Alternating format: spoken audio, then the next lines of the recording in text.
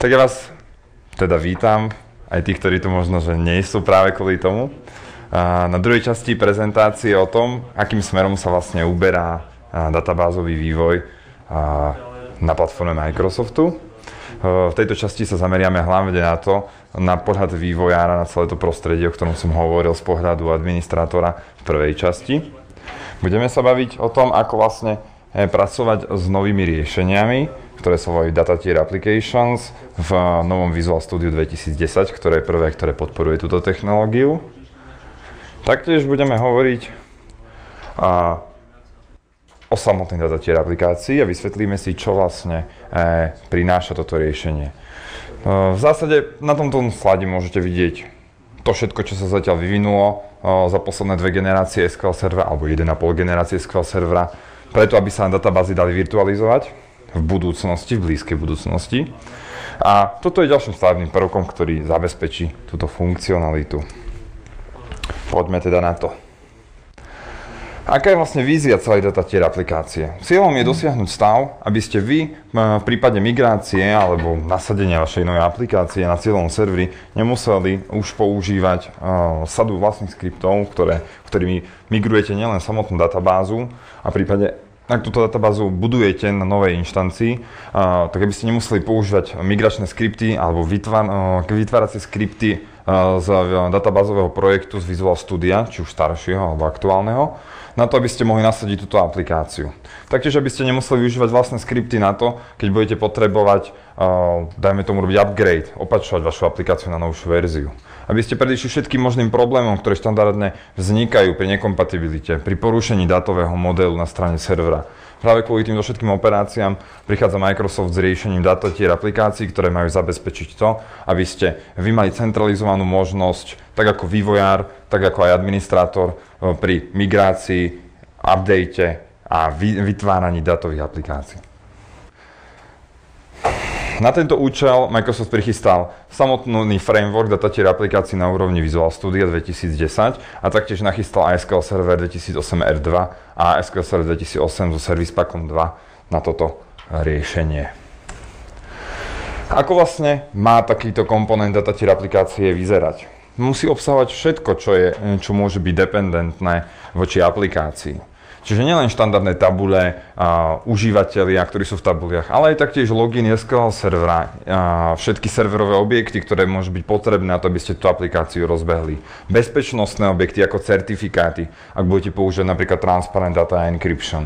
Alebo taktiež a, linkované servere a ostatné connection stringy, ktoré potrebujete na to, aby ste vy dokázali tú aplikáciu rozbehnúť na hociakej inštancii. Cieľom je do, vytvoriť jeden balíček, ktorý jednoducho movnete z, z inštancie A na inštanciu B, bez toho, aby ste museli nejakým spôsobom uh, ovplyvňovať uh, ďalšiu konfiguráciu, alebo aby administrátor nemusel vykonávať ďalšie potrebné operácie. Všetko v jednom balíku. Čím sa zjednoduší celá táto operácia, nebudete musieť manažovať toľko uh, ďalších paralelných akcií popri vývoji tejto aplikácie. Pardon, pri jej migrácii, upgrade, nasadení. Čo vlastne tento balíček vám bude umožňovať? Bude vám umožňovať nielen inštaláciu na nový server, ale taktiež upgrade a v neskoršej verzii aj repair aplikácie z tohto balíčka, ktorý si vy takto vytvoríte. Tento balík sa bude volať DuckPack a vy ho môžete používať na to, aby ste danú aplikáciu nielen na server dostali, ale ho zo servera dostali, alebo ho prípadne updateovali do aktuálnej verzie, ktorú si vypoviete. No. Takto. Tak. Čo všetko obsahuje takýto balík? Bude sa deliť na viacero častí. Časť tohto balíka je samotná databázová schéma, čiže datový model, všetky objekty, ktoré sa v databáze nachádzajú. Tabule, views, constrainty, uložené procedúry, užívateľia, loginy a tak ďalej. Okrem toho všetkého však ešte existuje sada metadát, ktoré sú uložené v MSDB pre každú datatier aplikáciu, ktoré popisujú ďalšie prerekvizity, ktoré vy môžete určiť pre daný datový balíček. Takýmito prerekvizitami môžu byť politiky. Politiky, ktoré hovoria o tom, na akú verziu SQL servera môžete danú aplikáciu napríklad nasadiť. Dajme tomu politiky, ktoré hovoria o tom, za akých okolností môže e, táto verzia bežať na tom serveri. Čiže vývojár dostal ďalšiu možnosť, ako povedať, kde všade môže byť jeho projekt nasadený. na úrovni Visual Studia, mám možnosť editovať politiky, ktoré potom musia byť validné, inak vám administrátorovi nie je umožnené, aby tieto politiky použil, ale pardon, aby ten balíček použil na takom serveri. Mám možnosť však overajnúť tieto nastavenia, avšak to už je potom na vlastné riziko. Pointou je, aby aj administrator nenasadzoval vašu aplikáciu na verziu SQL servera, ktorá napríklad nevie využiť, uh, featurey nemôže využiť aplikácia potom. A tým ste vlastne nepoškodili celý váš výtvor a neznižili funkcionalitu. Cieľom je vlastne dosiahnuť to, aby ste vy mohli jednoducho a efektívne manažovať tento balíček, aby ste ho mohli rýchlo debagnúť, či už na strane administrátora alebo na strane e, vývojára. Pribudol nám nový projekt, ktorý sa volá Data Tier Application Project, v ktorom vy môžete sami nakonfigurovať tak ako v štandardnom databázovom projekte kvantum objektov, ktoré budete chcieť do produkčného riešenia nasadiť taktiež okrem toho máte možnosť teraz dokonfigurovať politiky a dokonfigurovať aj tie metadata, o ktorých budeme hovoriť, ktoré vám vedia zabezpečiť, aby sa, dajme tomu aj objekty, ktoré sú pre aplikáciu z pohľadu SQL servera a jeho konfiguráciu dôležité, automaticky nastavili pri deploymente. Medzi tieto informácie potom patrí aj nová funkcionalita a, a taktiež skripty, ktoré sa spustia pred a po deploymente.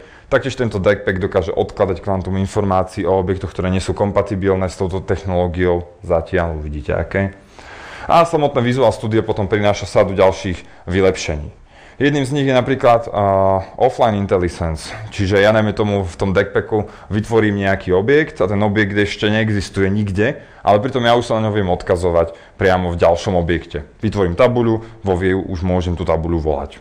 Prípadne môžem použiť online intelligence, kedy ja sa pripojím k serveru s existujúcou štruktúrou a z neho si stiahnem celú konfiguráciu a z tej sa mi vygeneruje vlastne DACPAC, uh, v ktorom ja už potom len dokonfigurujem moje veci, ktoré potrebujem čím vlastne môžem urobiť upgrade veľmi rýchlo. Nemusím si držať tieto data len na nejakom team serveri alebo storage, môžem ich priamo ťahať zo servera. Alebo si môžem, čo je oveľa pravdepodobnejšie, nechať administrátorom vyexportovať aktuálnu aplikáciu, ktorú mi v tomto balíčku pošle a nemusím posielať žiadne ďalšie informácie. Všetko, čo potrebujem, mám v tomto objekte a môžem ich potom následne ja už vo Visual Studio otvoriť, zeditovať, upraviť, vytvoriť novú verziu poslať nazad administrátory, ktorý ju má importne do servera. Čiže samotný a, a samotné Visual Studio od verzie Premium vyššie podporuje všetky tieto technológie. No, možno vás napadá otázka, OK, a čo standardné databázové projekty? Nie je to trošičku konflikt záujmov? Na čo sú nám datatier aplikácie, keď máme datové, databázové projekty, ktoré sú hodne využívané na Microsoftovej platforme? Pointou je to, že datatier application sa dá využiť len od 2008 R2 a 2008 Service Pack 2 vyššie. Čiže nič iné na tom nepobeží. Ak máte prostredie, v ktorom máte nižšie servere, budete využívať stále databázový projekt. Alebo ak máte aplikáciu, ktorá potrebuje extra konfiguráciu a bude, budú v nej veľké objekty, bude rozsiahla a je plánovaná ako rozsiahlý objekt, tak pravdepodobne tiež bude pre výhodnejšie použiť stále databázu oproti a data, aplikácií, ktorá je dimenzovaná do iného segmentu. Aký je tento segment? V zásade datatier aplikácia sa dá pekne zobraziť v takomto grafe, kde máte možnosť vidieť v jednej osi kvantum aplikácií, ktoré sú na danej inštancii hostované a potom zložitosť týchto aplikácií. Čiže koľko vlastne vnútorných procesov uložených procedúr v danej aplikácii beží, na akej úrovni, to všetko určuje komplexnosť samotnej aplikácie.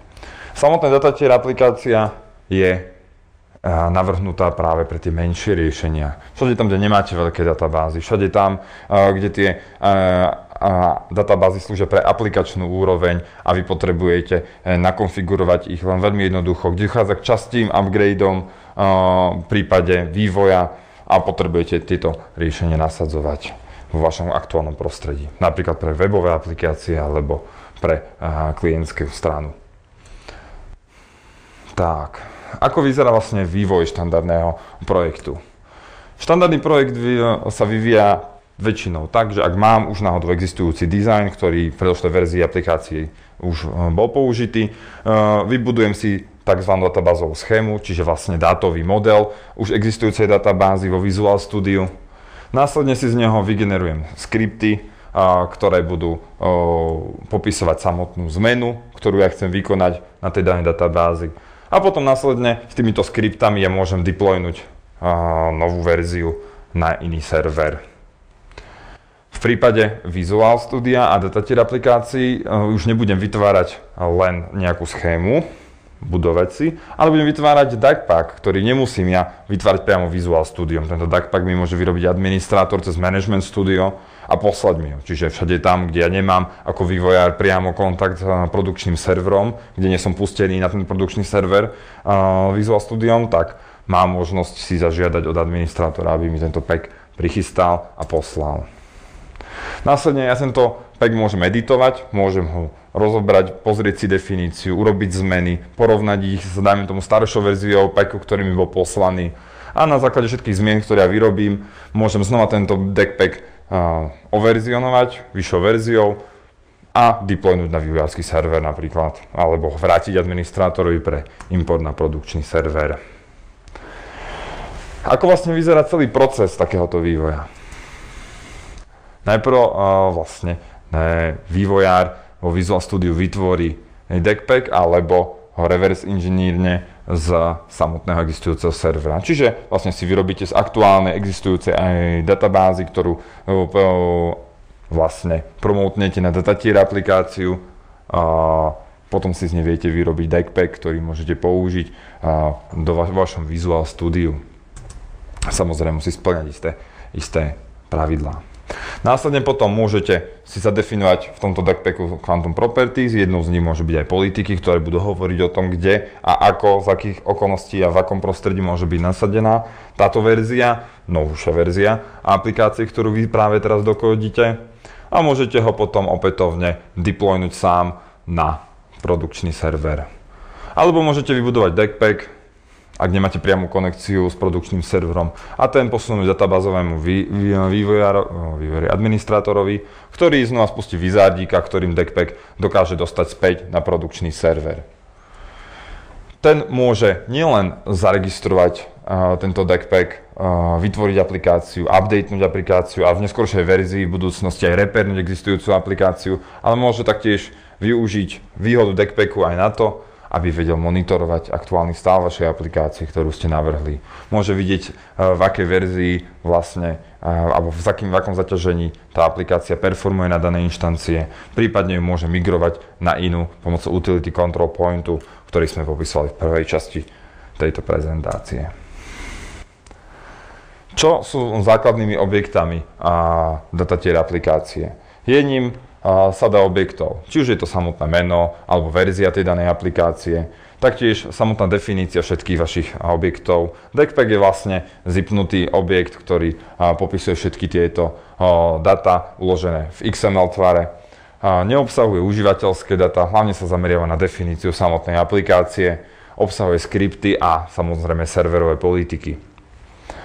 Čiže to všetko sú vlastne konfiguračné informácie popisujúce a definíciu vašej databázy a všetkých objektov. Čo všetko je podporované takýmto DACPACom? A sú ním podporované všetky objekty, ktoré vidíte na slajde. To vám tam chýba.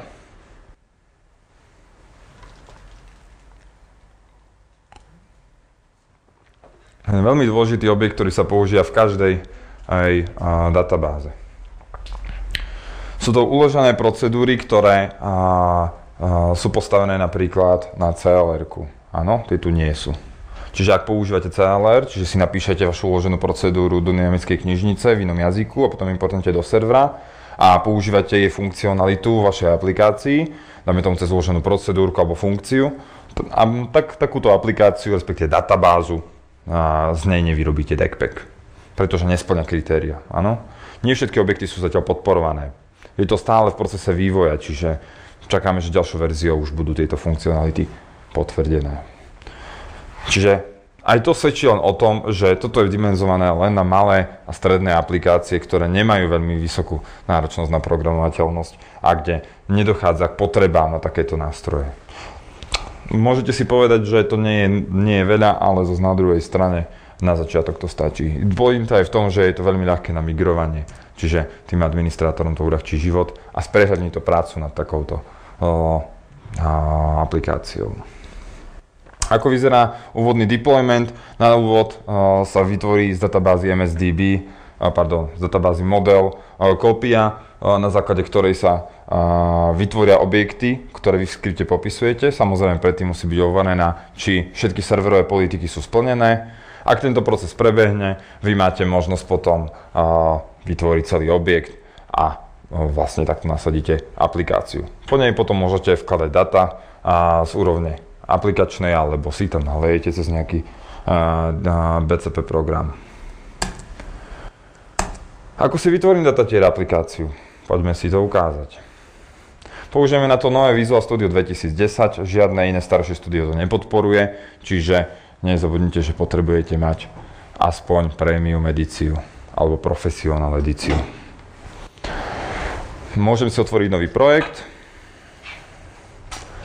No, nájdem si tu v databázových projektoch datatier aplikáciu, kde máte možnosť si zadefinovať potom nejakú cestu, meno, ako v štandardnom projekte.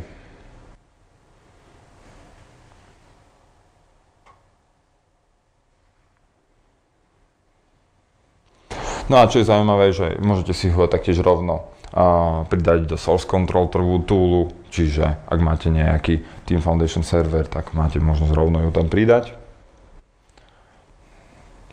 No a následne potom potvrdím vytvorenie projektu. Po vytvorení má možnosť vidieť v Solution Explorer sadu properties, časť z nich sú nové, časť sú staré. Je tu sada properties a objektov, ktoré sa zameriavajú e, na konfiguráciu samotného deckpacku a potom schéma objekty, v ktorých nájdete celú konfiguráciu pre vašu aplikáciu. Databázové objekty ako assemblies, e, triggere, bezpečnostné objekty, role a tak ďalej. Všetko to, čo štandardne popisuje samotnú databázu, do ktorej tvoríte objekty. A, čiže všetky jej objekty zamerané na management a potom je tu taktiež položka pre samotného service brokera a taktiež je tu potom samotný popis storage, kde si môžem dokonfigurovať, dajme tomu, ako má byť rozdelená moja databáza, kde má mať file grupy a, a detaľnejšie informácie o tom. Čiže môžete enforcenúť váš dátový model aj na úrovni databázových file, čo predtým nebolo. Môžem si tu dovyrábať vlastné partitioning funkcie a nasadiť ich rovno. Čo je tu ďalej potom štandardný objekt schémy, ktorý popisuje všetky objekty ako tabule a štandardné objekty v databáze, tabule views, synonymá, prípadne programovateľné objekty ako ložené procedúry a funkcie. Taktiež sú tu aj vlastné datové typy, ktoré si môžete vyrobiť. No a potom serverové objekty, kde si môžem dynamicky upraviť napríklad vytváranie vlastných error messageov pre aplikáciu. Vie si to ten backpack nosiť so sebou, taktiež linkované servere e, a všetky prerekvizitné objekty, ktoré z úrovne servera potrebujem na to, aby tá databáza mohla splňať všetku funkcionalitu pre aplikačnú vrstvu. Čiže máte tu široké možnosti, čo predtým nebolo. Výhodou je hlavne to, že takýmto spôsobom ja dokážem zabezpečiť a, a prenesenie všetkých informácií naraz. A to je ten cieľ aby som nemusel ja popri tom ešte prerekvizitne monitorovať, čo všetko tá aplikácia ešte potrebuje. Na následujúcom e, tej časti videa máte možnosť vidieť, ako si vytváram vlastnú tabuľku, v ktorej znova môžem použiť nejakú špecifickú definíciu. Vytvorím si zo pár objektov, aby sme simulovali nejakú, nejakú aplikačnú vrstvu, pardon, nejakú dátovú vrstvu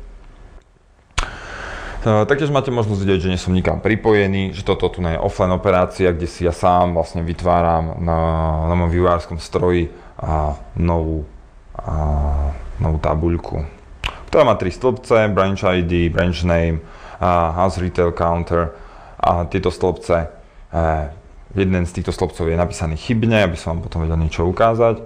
No ale taktiež branch ID a identity stĺpček s primárnym kľúčom, a s identity seedom a incrementom 1.1.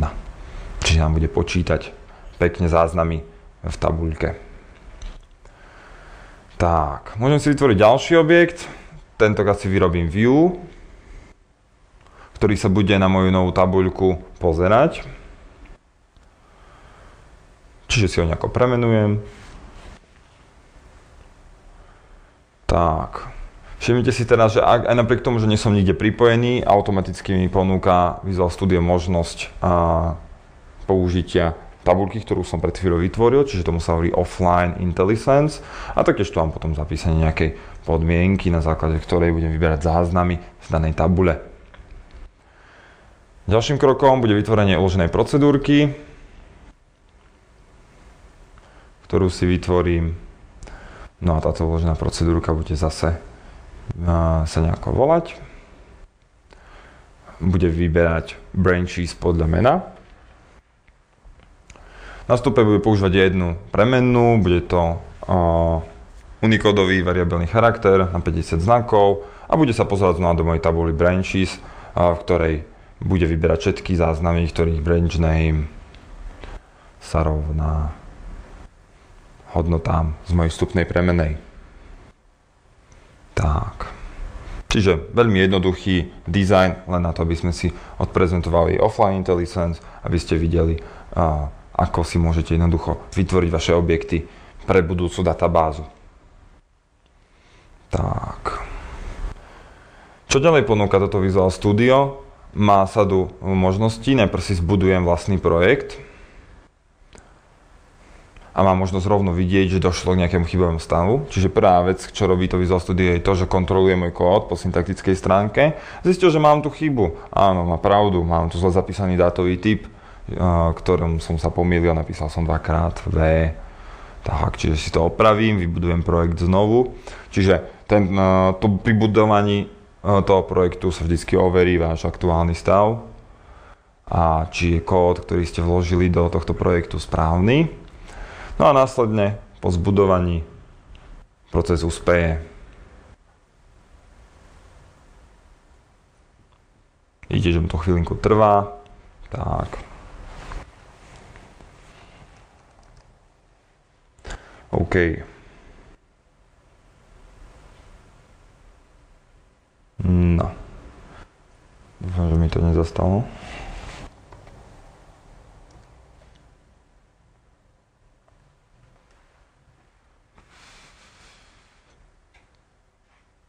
Hýbem sa. Nehýbem sa, čo?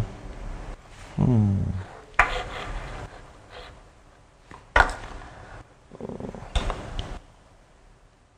Tak, dobre. Zavriem si toto okno. No a ďalšia vec, ktorú môžete eh, chcieť využívať eh, v tomto peku je tzv. Eh, refactoring, ktorým viete zabezpečiť to, aby niektoré pravidlá, ktoré by ste chceli implementovať vo vašom projekte, pravidlá kóderské, boli automaticky aplikované na kód, ktorý nie je e, napísaný správne.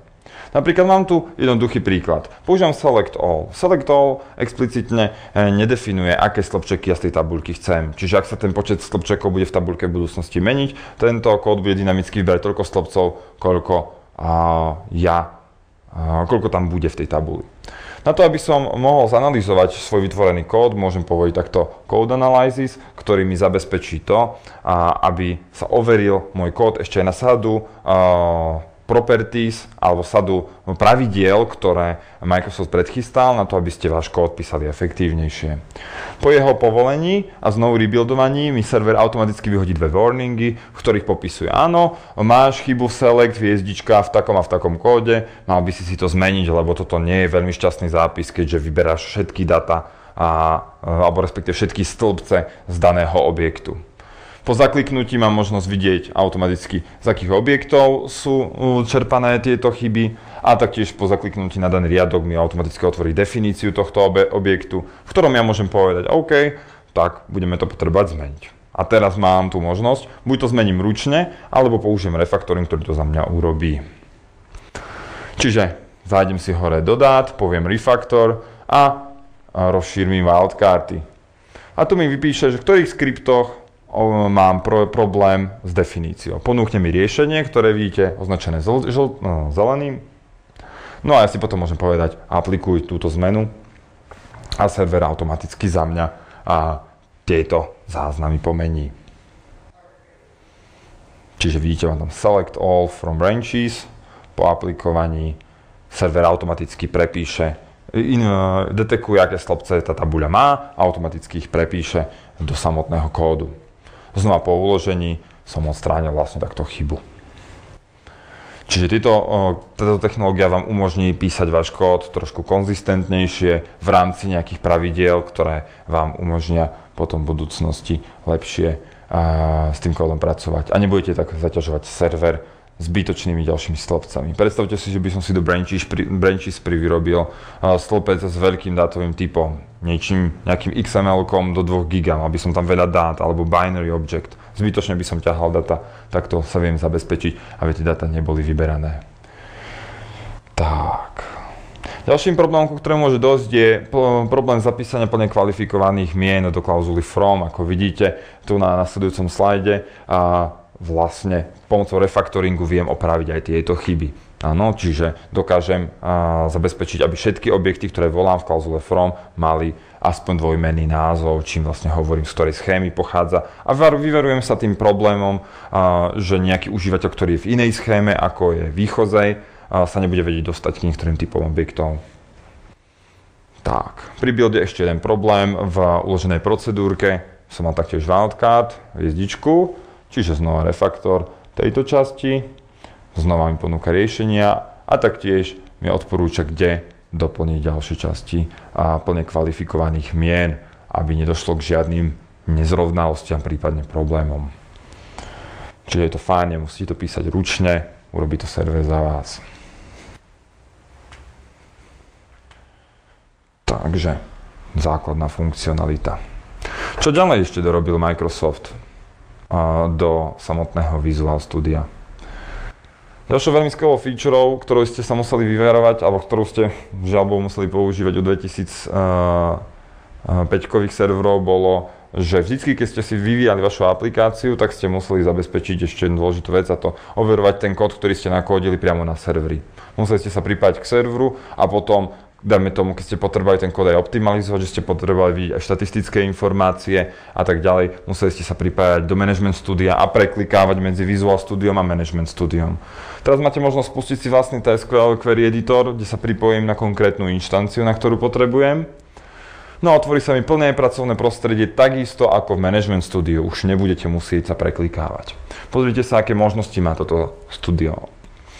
Prvou z možností je to, že si môžem tu na automaticky povoliť exekučný plán, čo je veľká výhoda. Lebo pomocou exekučného plánu viete povedať, ako server spracováva vašu query na strane toho servera. Čiže ušetríte tým vlastne čas pre kliku a vyklikávania týchto nastavení v Management Studio. Taktiež si môžem pridať klientské štatistiky. Kľudne si môžem robiť vlastné nastavenia a ten server mi bude reportovať všetko priamo tu do pracovného prostredia. Nebudem potrebovať Management Studio. Pripojím sa na nejakú databázku, No a znova napíšem nejaký kód, ktorým sa niekam pripojím. Urobím si uh, výber dát z tabuľky uh, production product. Vyberiem si aj nejaké stĺpčeky ako product ID, ID, product ID,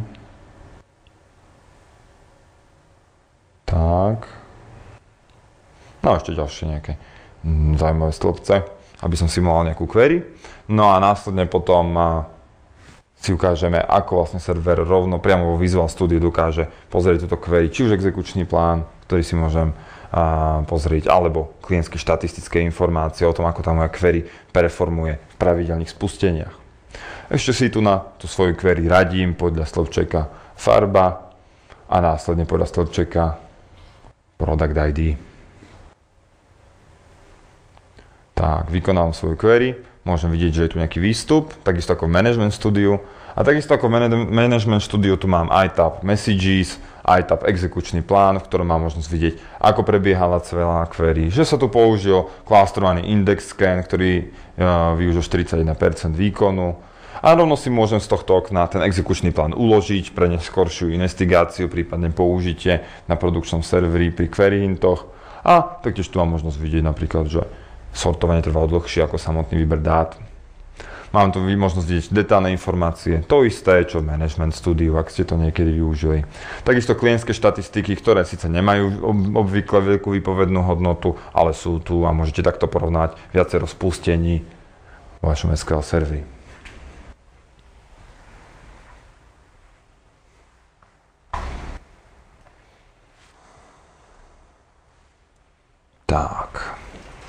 Čiže toto je ďalšia výhoda, ktorú to Visual Studio má oproti predošlej verzii, e, že nie len, že dokáže vyrábať samotný deckpack, ale umožňuje vám aj plnohodnotne pracovať e, v rámci query s SQL serverom bez akýchkoľvek obmedzení oproti e, Management Studio. Konečne je to vlastne rozšírením. Tak. Dobre. Poďme ďalej.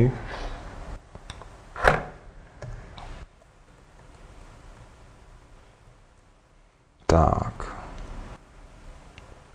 Poďme sa pozrieť teraz na uh, vývoj samotnej aplikácie. To už hádom nebolo.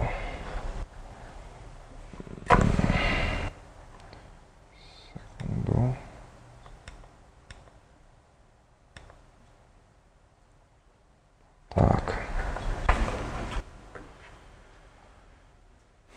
Spustím si opäť Management Studio.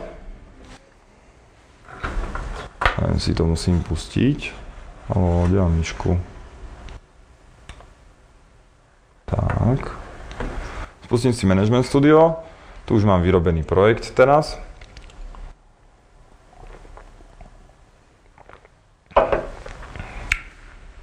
Ktorý sme si pred chvíľou vlastne vyrobili. Čiže teraz si ukážeme, ako ho nasadiť, ako ho poslať administrátorovi alebo za toho administrátora sám nasadiť. Čiže Mám tu sadu properties, o ktorých sme ešte nehovorili. Popísali sme si samotné objekty v tom projekte a nepopýtali sme si properties. Popísali properties. Je tu sada skriptov ako post-deployment a pre-deployment skripty, do ktorých si môžete nakodiť kód, ktorý musí byť splnený ešte predtým, než sa spustí samotná, eh, samotný import nových objektov do databázy. Tu si môžem napísať všetko, čo potrebujem na to, aby som vedel zabezpečiť plnú funkcionalitu. Čiže ak mám tam, dáme tomu, nejaké vlastné skripty, ktoré používam na export užívateľských HCL a potom na následný import a synchronizáciu, tak toto je správne miesto na to, aby som to tu popísal. Prípadne ak mám nejaké ďalšie požiadavky, ktoré potrebujem zohľadniť ešte pred samotným spustením integra- uh, vlastne importu tej uh, aplikácie alebo databázy do servera z Deckpacku, tak toto je to správne miesto. Áno, čiže tu si môžete kódiť.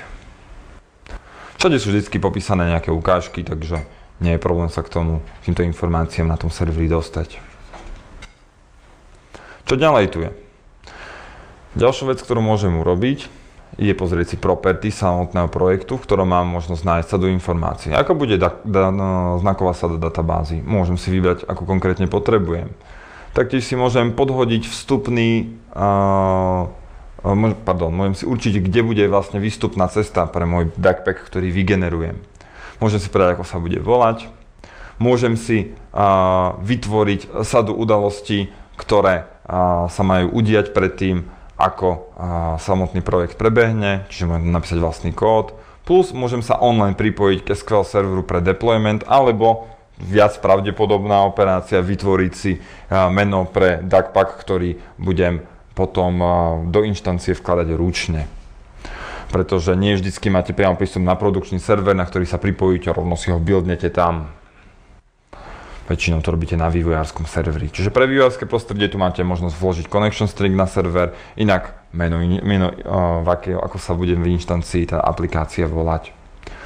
Taktiež je tu samotný popis všetkých uh, uh, pravidiel pre ko- analýzu kódu, ktorú môžete uh, explicitne povypínať, len to, čo nechcete, ostatné nastavenia potvrdiť, ak nie ste stotožnení s Microsoftimi radami. Tak. Dobre, čiže to je základné property toho o, data tier projectu. No a poďme sa pozrieť na konkrétne nastavenia. Je tu databázové nastavenie. Môžem si nastaviť a, túto sadu connection properties, ktorá bude výchozou pre databázu. Nie, nie je veľmi zaujímavé nastavenie kvôli tomu, že toto si vie každý užívateľ väčšinou zmeniť. Až na trustworthy, ktoré zase nezapíname väčšinou práve kvôli tomu, že je to relatívne nebezpečné nastavenie, vďaka ktorému môžem umožniť ľuďom, ktorí nemajú prístup do mojej databázy, ale majú možnosť vytvárať databázy v našej inštancii, získať access do, do citlivých dát. Ďalšia zaujímavá vec je nastavenie vlastných politík. Máte možnosť si tu povedať, pre akú politiku, akú politiku chcem použiť. Napríklad, že e, major verzia SQL servera bude desiatka. To znamená, že môžem použiť e, len server e, verzie 2008 a vyšší. Alebo si môžem povedať OK, že minor verzia inštancie musí byť, dajme tomu, 50. Tým poviem, že OK, že to môže byť len 2008 R2. Takže tu sa ďalších nastavení platforma, povolenie TCP protokolov, named pipes, uh, samotná edícia, alebo musí tam byť znaková sada na tej inštancii na, uh, nastavená alebo musí byť uh, build number predošlej verzie nejaký konkrétny. Čiže tu máte možnosť staviť vlastné politiky pre, pre deployment, ktoré keď nebudú splnené, tak sa dajú prepísať na strane servera, ale štandardne uh, vyhodia error, čiže ten administrator uvidí, že OK, uh, zjavne tu na nevalidujem z niektorou z politik, ktoré vývojár navrhol, čiže snaha o nejakú symbiózu. Tak. Samotný projekt môžem buildnúť, po tomto builde následne nájdem deckpack uložený v ceste, ktorú sme si pred chvíľou určili. Tento deckpack je samostatný súbor, nemá žiadne ďalšie objekty, ktoré by ste z ním museli ťahať. Mm, a teraz sa môžeme zahrať na samotného databázového administrátora. Čiže databázový administrátor sa pripojí k inštancie SQL servera, vidí tu svoje datatier aplikácie. Áno, a teraz vy ste mu poslali deckpack, ktorý on môže importnúť pomocou deploy data tier application. Tu si samospustí wizardík, veľmi jednoduchý, v ktorom povie len, kde je úložište toho deckpacku, odkiaľ bude server čerpať tieto data.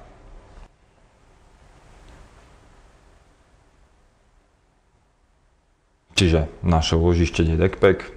No a potom sú tu detálne informácie, ktoré načíta rovnosť toho deckpacku o verzii servera, prípadne popis, ktorý tam môže vývojár zanechať. No a zbehne nasadenie. Overia sa politiky, áno, je to vyššia verzia ako 10, alebo rovná ako 10, čiže môže byť importovaný tento pack na tejto verzii inštancie. No a potom on určí, ako sa bude volať uh, menom táto aplikácia na inštancii a nechá zbehnúť celú procedúru. Čo sa tu deje? Pripravuje sa tu balíček a uh, spustia sa importačné skripty, pribudla nám tu nová datatier aplikácia na úrovni SQL servera a taktiež nám pribudla aj nová databázka, ktorú však nevidíme, lebo nemáme refreshnuté databázy a v tej časti stromu.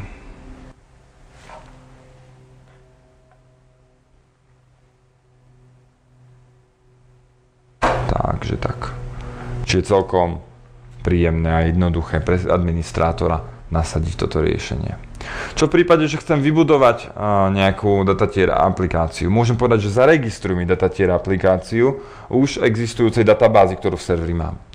Ako vidíte, môžem si tu vypísať informáciu o verzii, ako sa bude volať a znova description, prebehne kontrola, overí sa, či všetky objekty v danej databáze sú kompatibilné e, s datatier aplikáciou, čiže to, čo bolo v tej tabuli ohľadom objektov. Áno, vyzerá, že je No a teraz server nerobí nič iné, len si zaregistruje danú databázu ako datatier aplikáciu. Čiže od tohto momentu ju bude vidieť administrátor v utility control pointe. Áno, čiže už budeme tam enrollnutú a bude môcť pre ňu merať performance. Čiže to je jedna z veľkých výhod. Ďalšia výhoda je to, že bude z nej vyrobiť DACPAC a vyexportovať vám ho.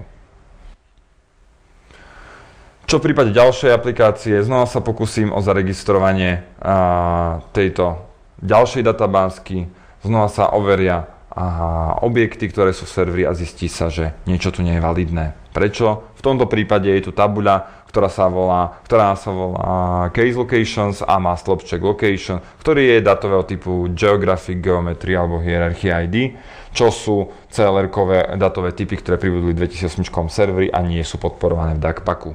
Čiže táto operácia neprebehne. Tak.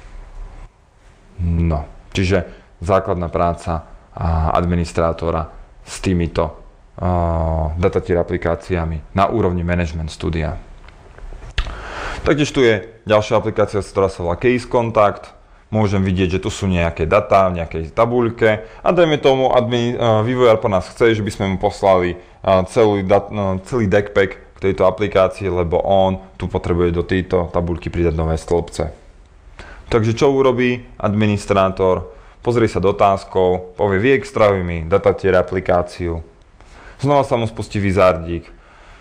Je tu vidieť verzia, ktorú môže on zeditovať a určí si cestu, kam vlastne ten balíček a, vyexportuje.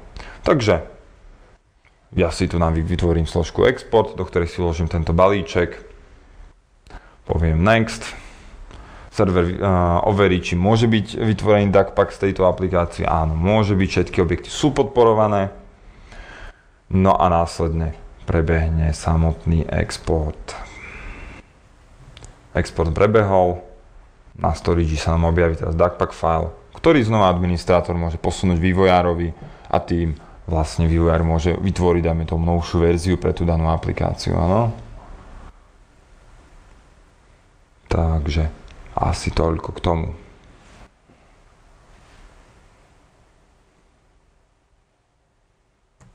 Tak. Poďme sa teraz pozrieť, ako manažovať zmeny v tejto datatier aplikácii v prípade, ak dôjde k ďalšej konfigurácii. Keď potrebujem, dajme tomu, zistiť viac informácií o mojej aktuálnej verzii, alebo keď samotný databázový administrátor dostane takýto DuckPack, tak už nemusí dlhé hodiny ako pri databázovom projekte prehrabávať skripty a porovnávať ich s poslednou verziou, ktorú si sám vygeneroval, aby zistil, k akým zmenám došlo. A teraz môže jednoducho tento DuckPack porovnať s aktuálnym stavom databázy vo Visual Studio, ktoré si môže nainštalovať a tak zistiť, kde sú rozdiely. A na základe toho má viac vstupných informácií, čo sa o tej aplikácii vlastne bude diať. Čiže dochádza tu k veľkej výhode a to je tá, že už nielen databázový vývojár, ale aj administrátor má veľmi jednoducho šancu, možnosť zistiť, čo sa vlastne bude meniť na tom systéme a získava viac informácií, ako doteraz mal, čo je veľmi prínosné. Uh, takže takýmto spôsobom dokážem uh, veľmi rýchlo vyzisťovať, k akým zmenám na tom serveri dojde. Tak. Čo uh, vlastne uh, pri rozbalení takéhoto balíčka vznikne? Vznikne tu sada skriptov, PSQL skriptov, ktoré obsahuje tento uh, Backpack, čo sú vlastne jednotlivé skripty, ktoré sme si my kodili v tom Visual Studio pred chvíľou, ktoré sú popísané jednotlivými názvami ako SQL skripty. XML fajly a serverové politiky, ktoré sme vytvorili. No a taktiež v prípade, ak sme použili pre a po po deployment skripty, tak aj tie budú priložené a ich obsah bude naplnený. Čiže vy keď rozpakujete tento DuckPack file, tak máte vlastne len sadu všetkých objektov, ktoré budú potom importované do servera. Čiže viete ich pozerať aj samostatne. V prípade, že ho rozpakujete, môžete použiť aj nejaké externé nástroje na to, aby ste porovnali, či ich obsah je totožný, ale to nie je potrebné. Je jednoduchšie pre vás použiť práve Visual Studio, v ktorom, ktorý má vlastný nástroj, ktorý vie porovnať aktuálnu schému s backpackom. Ako už bolo spomenuté, táto feature je taktiež len u Premium a Ultimate povolená pre comparing. Ak máte profesionál, môžete pracovať s backpackom, ale nemáte možnosť použiť túto verziu. Čo v prípade upgradeu datatier aplikácie, ako prebieha samotný tento proces?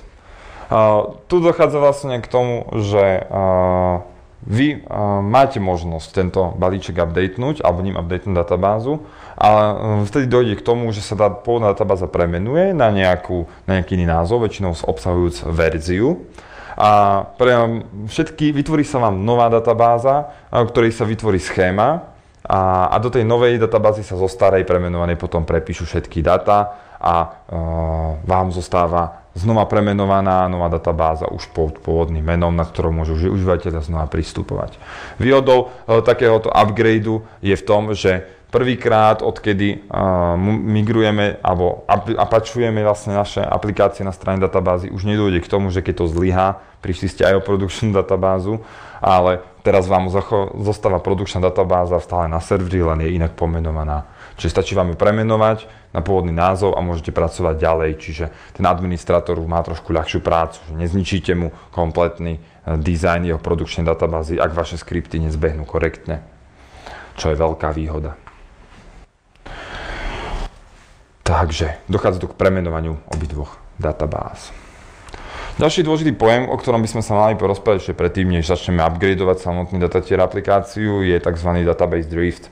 O čo sa tu jedná? Môže sa stať, že vy začnete nasadzovať datatier aplikácií a používať tento systém deploymentu, čo je, ako ste mali možnosť vidieť, relatívne prehľadná operácia, v ktorej viete rýchlo určiť jednotlivé objekty, ktoré boli zmenené a tie nasadiť do produkčného prostredia. Problém nastáva vtedy, ak niekto začne modifikovať dátovú vrstvu z management studia. Čiže mimo vašich deckpackov proste urobí alter, urobí drop alebo nejaký iný data definition language príkaz.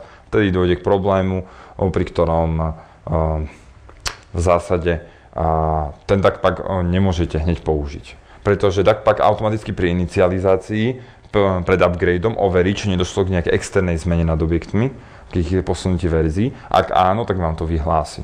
Vy môžete povedať, OK, preplácni mi aj tak za takýchto podmienok DACPACom aktuálnu produkčnú databázu, ale môže dojsť k poškodeniu dát, môže dojsť k tomu, že niektoré tabulky sa nevyrobia, prípadne neprekopírujú sa data korektne. Čiže database drift je nebezpečná vec a hlavne ak máte veľmi aktívnych administrátorov, ktorí vám vedia narušiť dizajn vašej databázy. Takže dôležité je, aby ste tomu predišli. Čo v prípade, ak by k driftu došlo, čo sa vlastne môže, aké rôzne scenárie môžu nastať? Prvým z nich, a, alebo respektíve, kde sú, sú uložené dôležité informácie. Máme samotný deckpack, ktorý popisuje a, všetky objekty, ktoré budem chcieť importovať. Mám existujúcu produkčnú databázu, ktorej sú informácie, a, ktoré chcem, ktorých obsah chcem preniesť čiže tabulky a ich data. No a potom medzi týmito dvoma objektami je ešte e, tretí objekt a to je MSDB databáza, v ktorej sú všetky serverové politiky uložené, ktoré budeme potrebovať. A teraz Drift môže vzniknúť e, či už na strane MSDB, alebo na strane produkčnej databázy, alebo na strane DACu. Čiže čo v prípade, ak uh, DAC definícia v MSDB a nový DAC uh, sú identické? Tak dojde k tomu, že tá tabuľka, ak je aj v produkčnej databázi, tak sa tam objaví v novej verzii a budú do nej presunuté všetky data. V prípade, ak nový DAC nemá definíciu v MSDB, ale v tá, alebo v tá aktuálnej databáze, tak síce sa vyrobí za na novej definícii nová tabuľka, ale žiadne data nebudú prenesené, áno, lebo v, MS, v MSDB o nich nie je žiaden záznam, v aktuálnej databáze sa nenachádzajú. Tretí prípad poukazuje na to, že ak je tabuľka v aktuálnej databáze a v novom DACu, ale nie v definícii MSDB, tak zase dojde k jej znovu opätovnému vytvoreniu, respektíve udržaniu stavu, ale nebudú prekopírované žiadne data. Čiže budete mať dve verzie databáz, jedna v spôvodnej verzie, v ktorej budú aj data a druhá verzia, v ktorej budú aktuálne. Neprázdna tabuľka s novou definíciou. V ďalšom príležitosť, no ďalšia možnosť je, že tabuľka má definíciu v MSDB a v aktuálnej databáze, ale nie je v DACu. Čo v takom prípade tabuľka sa v novej verzii už neobjaví a nebudú ani prekopírované data. Nestratíte ich, zostávajú v starej verzii databázy. V prípade, e, že všetky tri, e, tá tabuľka existuje vo všetkých troch objektoch, ale vždy v inej verzii, tak môže dojsť k tomu, že sa vám podarí ju vytvoriť v novej verzii aplikácie, ale nie všetky data môžu byť prenesené a môže dojsť aj k problému s rollbackom. To znamená, že sa server pokusí vložiť data do stĺpčekov, ktoré nebudú existovať, čiže tu môže dojsť k problému. Čiže podstatné je, aby uh, nikto nerobil v zásade zmeny, do dátového dizajnu a dátového modelu na databázu mimo vašho uh, deployment riešenia, čiže cez Visual Studio Deckpack. Prirobí niekto niekde cudzí kľúč a vy už ne, nemôžete importnúť data do nejakej ďalšej tabulky, na ktorú tento cudzí kľúč ukazuje.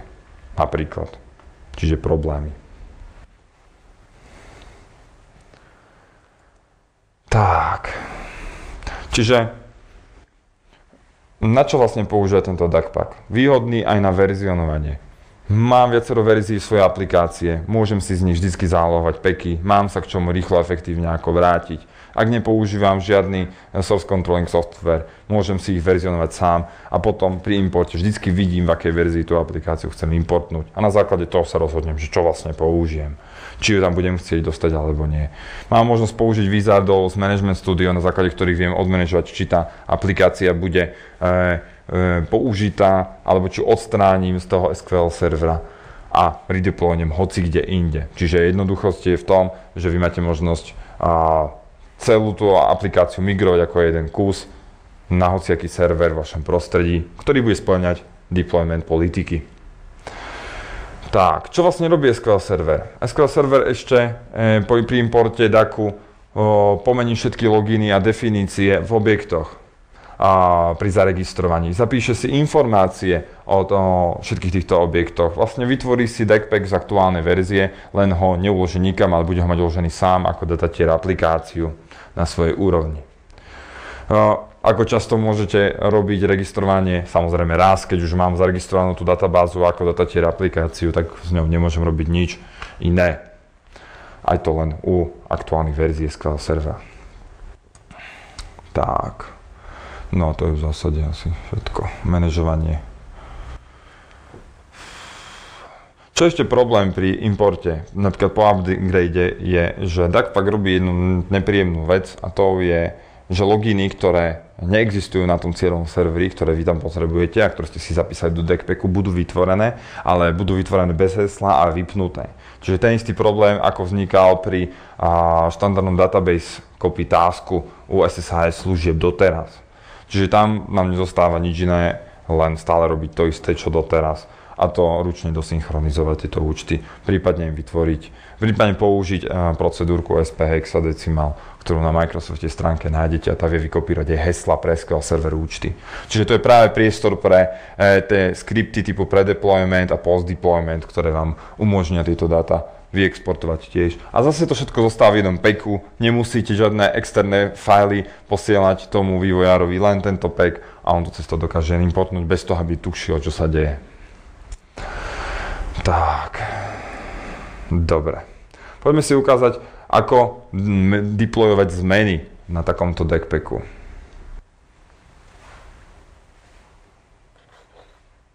No, čo sa stalo?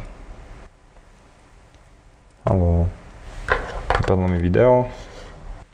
Hádam nie.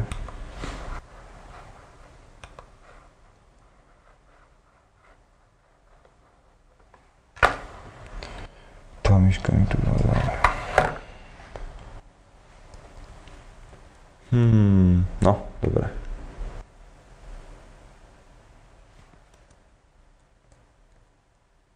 Haló. Trošku mi to tu nablbne.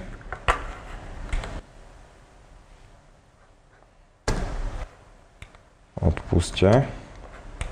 Pri poslednom videu technické problémy, to musí byť stále.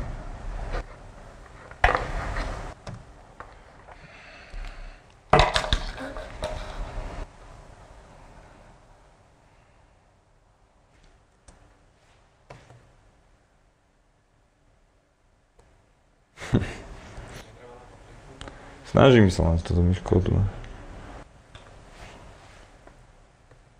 Všimnite si, že keď na to narolím spredu, tak to nejde. Pozrite sa, nejaké to je divné. Spustíme na to opäť, uvidíme, čo to urobí.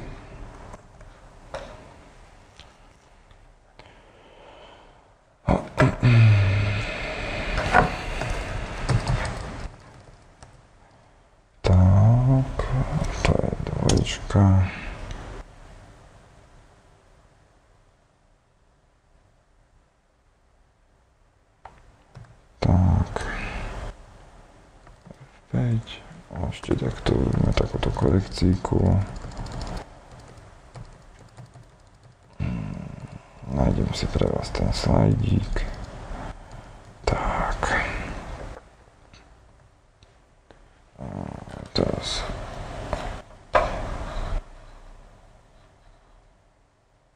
čo za nejaké divné slideshow.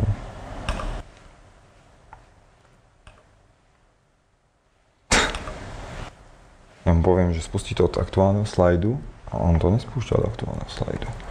Nevadí. Sa tomu preklikám.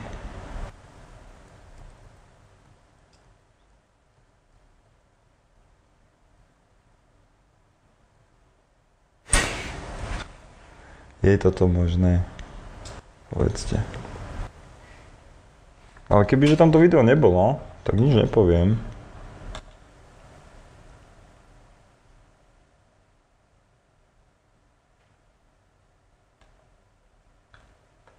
Tým je? Hmm. No, žiaľ Bohu, technika neposlúcha.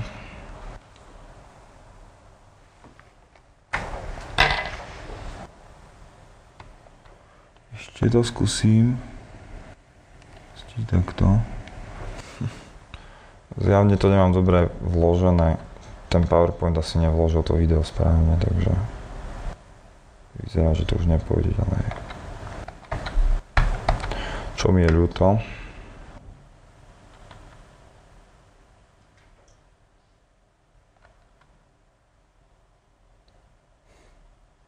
No žiaľ Bohu, nemám to tu. Čo je dosť zradné. Ešte vydržte, ja vám to možno pustím inak, priamo z disku. Lebo myslím, že to tu nemám.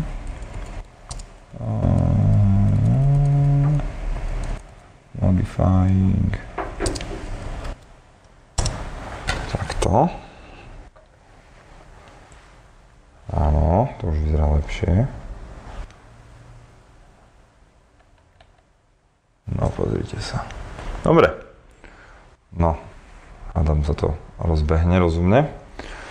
Tak, Zase si spustím Visual Studio, ktorom si otvorím projekt, ktorý sme si už navrhli. Vyberám si nejakú aktuálnu verziu.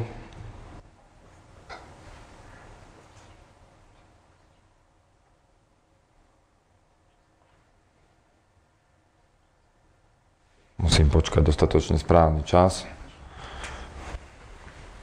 To bude teraz horšie, lebo tu na, to nie je skracovaná verzia, takže to budem sedieť a skracovať asi ručne, tak to vidím. Tak. Dobre, vytváram si nový projekt, áno? Mm, vytváram si nový projekt, ktorý nazvem Case Contract.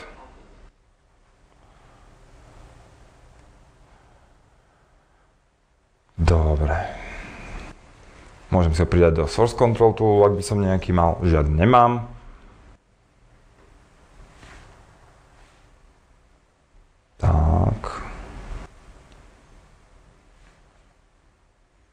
No, a čo sa bude deť teraz? Mám tu nejaký template, áno? Mám vytvorený Datatier Application Project, ktorý je úplne prázdny. Ja tu mám možnosť importnúť do neho priamo data. Znova môžem sa pripojiť na produkčný server a rovno si tieto data importnúť sám.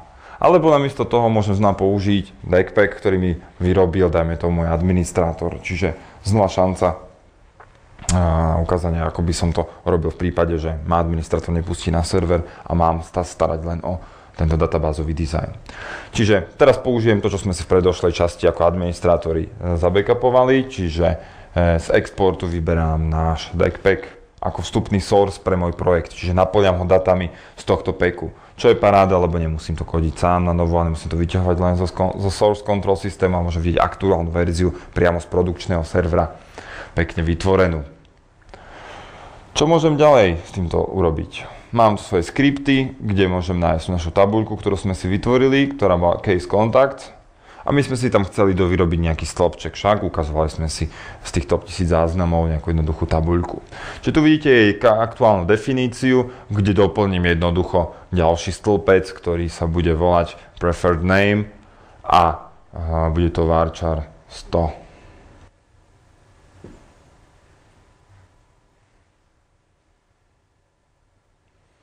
Tak. Čiže urobím vlastne zmenu v dizajne, áno, oproti pôvodnému backpacku. Aby sme si vedeli ukázať a vlastne, ako bude vyzerať rozdiel po takomto update. Tak.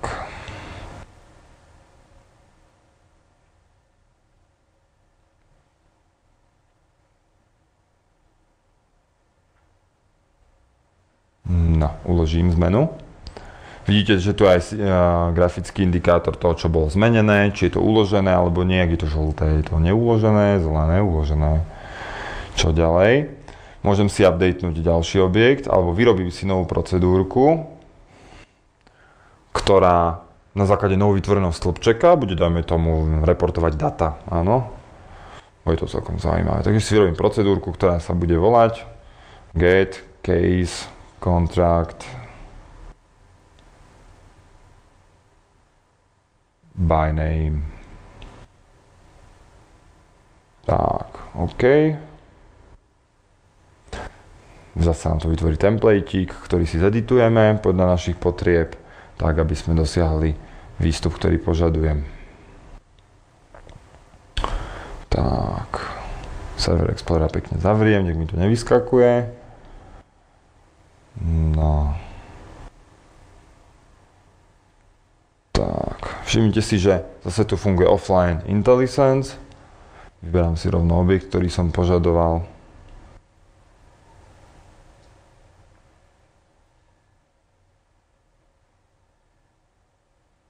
Tak, vyberám si stĺpčeky.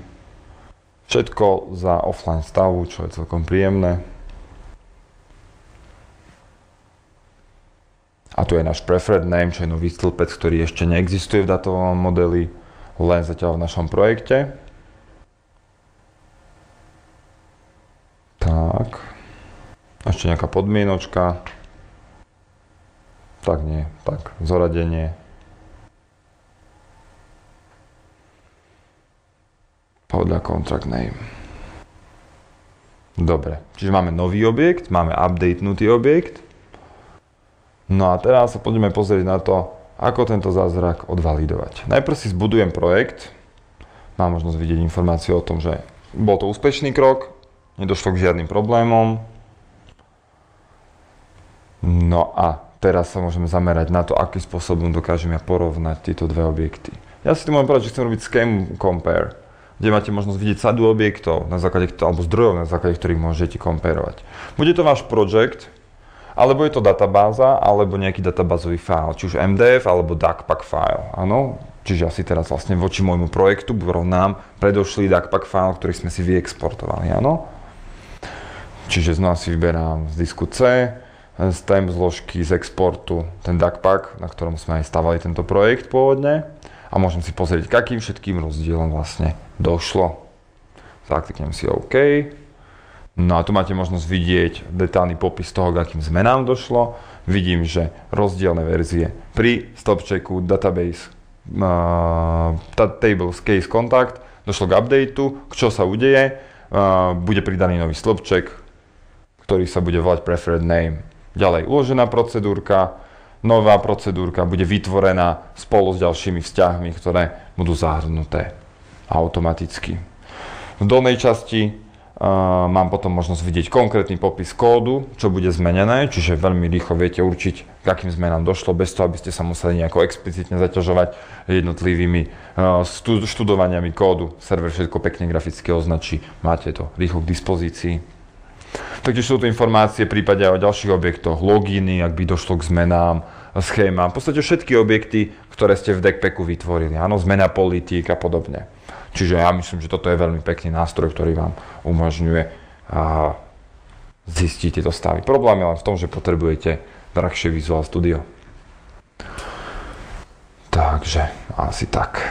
Teraz si tento compare nebudem ukladať a nebudem ho ani aplikovať v podstate išlo o to, aby som identifikoval, ak, akým zmenám došlo. Čiže to môže robiť kľudne aj administrátor s vašim deckpackom, ktorý mu pošlete, keď ho porovná voči aktuálnej databáze na serveri, keďže je možné podhodiť connection string. Tak, čo zase urobí administrátor pri update vašej aplikácie? On si môže pozrieť vašu aktuálnu verziu datatier aplikácie na serveri a môže povedať v táskoch, že chce urobiť samotný update datatier aplikácie. Áno. Znova sa objaví wizardík, do ktorého podhodí samotný package, ktorý ste mu poslali. Server ohľadá v východnej ceste k DAC, uh, packageom. My ho máme však umiestnený v tempe v samotnej, v samotnom projekte Case Contact, ktorý sme si vytvorili. Tak, tu ho nájdem v objektoch, v debugu je môj nová verzia aktuálna a samotného deckpacku. Ešte predtým, než ho importnem, som zabudol na jednu veľmi dôležitú vec a to je zvýšiť číslo verzie, aby bolo jasné, že OK, tu došlo k nejakej zmene oproti predošlej, takže upravím si môj verzioning no úroveň vyššie, uložím si tento, túto zmenu, vybudujem znova tento package, ten sa automaticky na tom storage prepíše, No a, a teraz ho môžem vybrať a použiť v mojom projekte. Vidíte, že došlo k zmene, áno, aj administrátor to môže vidieť. Môže tam byť v description popis, čo sa zmenilo. Všetko je to od toho, aké máte procesy vo firme a akú úroveň komunikácie zvolíte. možnosti ten systém ponúka. Server teraz zmeny, čo zase chvíľku trvá, ako vidíte, a to sa pýtame minimálna databáza. Zistil, že OK, že nikto neurobil database drift, to znamená, že verzie objektov v databáze oproti poslednej zmene z DACPACu sú stále OK. Ak by takýto stav nenastal, server tu vyhodí taký veľký pokec k tomu a malé zaškrtávátko override, ano, v ktorom dokážete prepísať aktuálny dizajn aj tak. Čiže zistili sme, že systém je v poriadku, no a v podstate teraz server umožní administrátorovi, aby urobil túto zmenu. No poď, poď.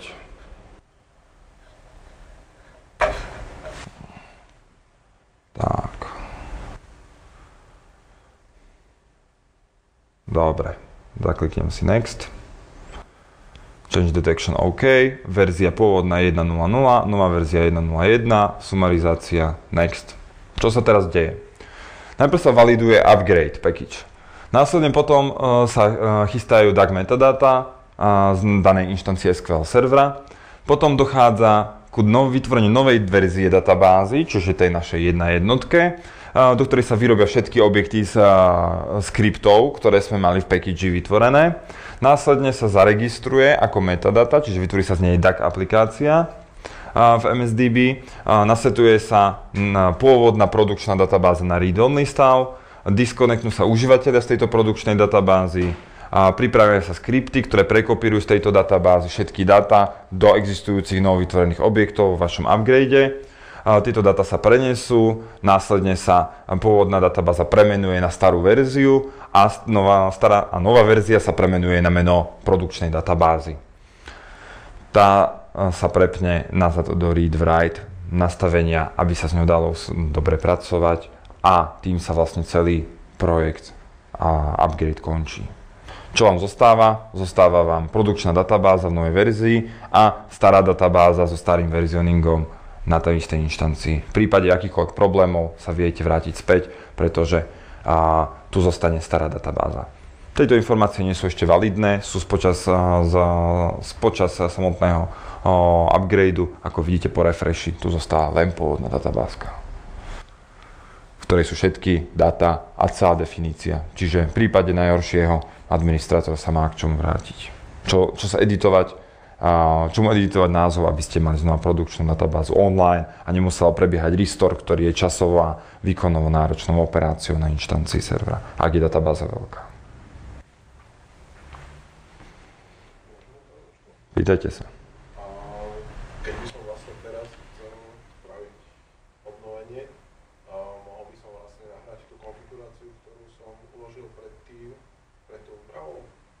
Áno, z backpacku pôvodného. A vlastne ono si zistí, že má tam uloženú tú databázu, alebo sa snažiť to podľa tých definícií. A to, podľa to, čo by ste urobili, to by ste už upgrade nerobili. A, čiže tam mohli by ste overridenúť aktuálnu databázu o, tými nastaveniami z backpacku, ktoré máte, áno? A, z toho z tej starého backpacku. Čiže vlastne ono On zistí. A z tejto nie, lebo toto už je iba verzia 1.1, to už nie je produkčná. On vyrobil zálohu len z produkčnej. Tá, ktorá sa bude volať, ako sa volá produkčná. Keby ste túto premenovali, tak potom by to šlo. Ale máte vlastne celú kompletnú konfiguráciu tam, čiže vy nepotrebujete túto operáciu robiť. Vy premenujete pôvodnú a zaregistrujete si ju. A idete ďalej. Tam sa vlastne. Áno, ale nie v tejto pôvodnej, ktorá zostala celá, len je premenovaná na tú verziu 1.0.0. Áno? Keby ste chceli vrátiť k pôvodnému dizajnu, tak vlastne vy tie všetky dáta máte aj s pôvodným dizajnom stále na tej inštancii. Len sa volá inak. Nech sa páči.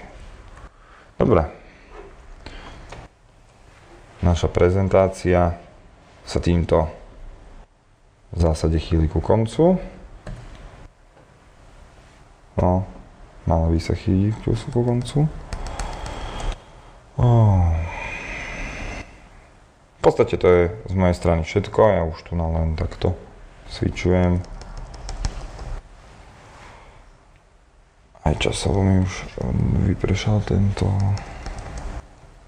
Ak by vás zaujímala táto problematika hlbšie, je tu sada resursov a white kde sa môžete dočítať ďalšie informácie. Väčšinou ja som čerpal informácie priamo z MSDN od Microsoftu, čiže tam sa dočítate viac o tom, ako nasadiť toto riešenie. No a to je z mojej strany v zásade všetko. Ak by vás sa vám táto prezentácia páčila a chceli by ste k nej source materiály, nájdete ich na našej stránke hneď po uh, vlastne celý tieto show IT spolu s ďalšími informáciami. Videa nájdete, ja tuším, na VGSK. Takže tam sa dostanete k týmto informáciám. Ak by ste mali akékoľvek otázky, kľudne sa pýtajte. Som tu ešte celý deň dnes a zajtra. Takže môžeme o tom diskutovať prípadne. Ja vám ďakujem za váš čas a pozornosť, aj keď ste prišli v takom hojnom počte. A pevne verím, že aj zbytok Show IT sa vám bude ďalej páčiť.